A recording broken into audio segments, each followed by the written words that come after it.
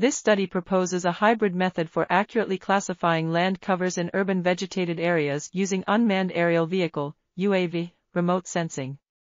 The method combines random forest and texture analysis to improve classification accuracy beyond traditional maximum likelihood classifiers. The results show that the inclusion of texture features significantly improves classification accuracy, and that classification accuracy follows an inverted U relationship with texture window size. Overall, this study demonstrates the potential of UAV remote sensing for urban vegetation mapping and highlights the benefits of adopting random forest and texture analysis together to overcome the limitations of off-the-shelf digital cameras.